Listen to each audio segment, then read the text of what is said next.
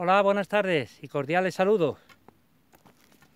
Pues nada, aquí estamos hoy en el entorno natural de Coripe, haciendo una ruta de, senderismo y esto es maravilloso, esto es magnífico. El campo está estupendo.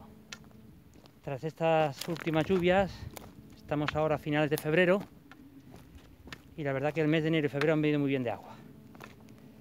El vídeo de hoy era para que ustedes supiesen una cosa más si no lo saben, para que lo tengan en cuenta.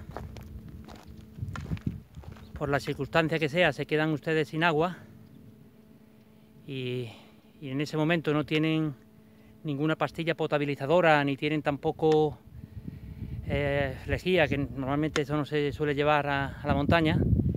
Y pasa lo que pasa, que muchas veces lo que me ha pasado a mí ahora mismo, me he quedado sin agua y claro, sin agua no se puede, no se puede estar mucho tiempo. Y para que ustedes lo sepan, ya les digo, os voy a enseñar un truco que no es complicado, lo que sí es un poco arriesgado, pero yo ya lo he hecho y la verdad que lo he hecho varias veces y ha dado resultado.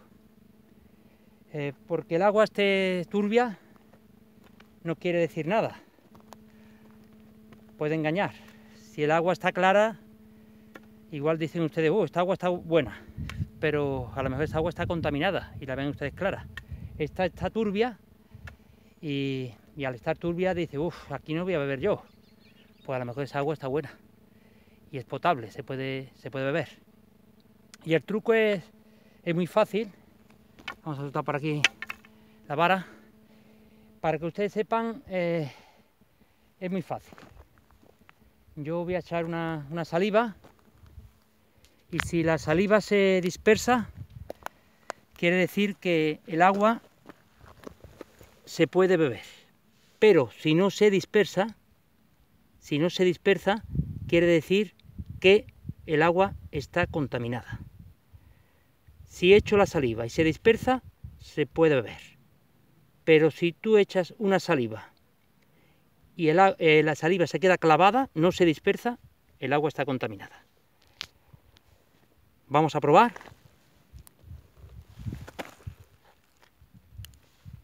Ahí han visto ustedes cómo la saliva se ha dispersado. Vamos a probar nuevamente. Ahí han visto, ¿no? Se ha dispersado por completo. Quiere decir que se puede ver. Y como me he quedado sin agua, vamos a probar.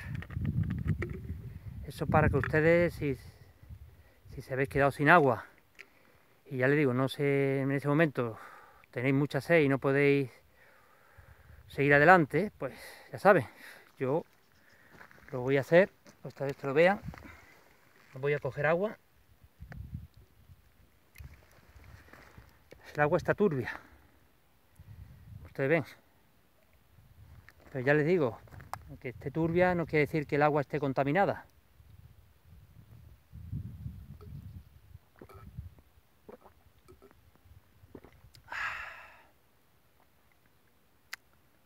Agua. Pues nada, esta poquita la vamos a dejar para el camino. Aquí estamos en los montes de Coripe es tremendo. Magnífico. Somos unos privilegiados vivir aquí en esta zona. Pues nada, esto era lo que quería yo presentaros hoy. Algo más de supervivencia. Pues ya nos iremos viendo por otros lugares. Hoy ha tocado aquí en el entorno natural de Coripe. Esto es una maravilla.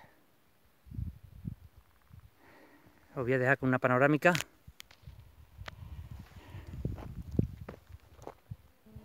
Allá arriba tenemos el Cerro Mojón, donde está situada la torreta.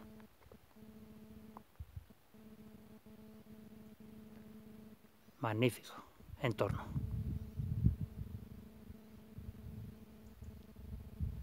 Pues nos vamos viendo. Hasta pronto.